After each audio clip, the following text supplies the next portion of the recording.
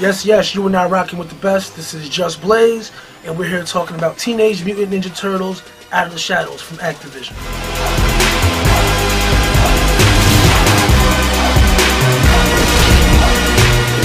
You know, it, it's ironic to come full circle and now be working on a project uh, that embodies a major part of my childhood and my uh, my childhood memory. It's dope every couple of years to do a project that reminds you of what it was like to be, you know, 11 years old without a care in the world. The thing I like about this one is that it kind of feels like a modern take on the original Old Turtles game, um, which was definitely a classic, you know, in the 80s. Took, definitely took a lot of quarters from it.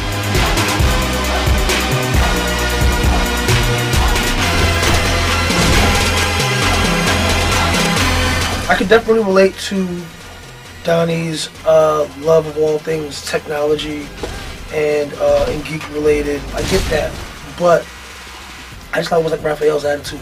I would have to split it between those two.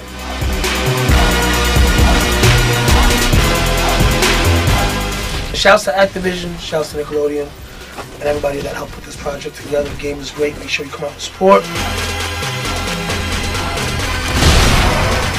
This is Just Blaze. See you later. Teenage Mutant Ninja Turtles Out of the Shadows. Download it this summer.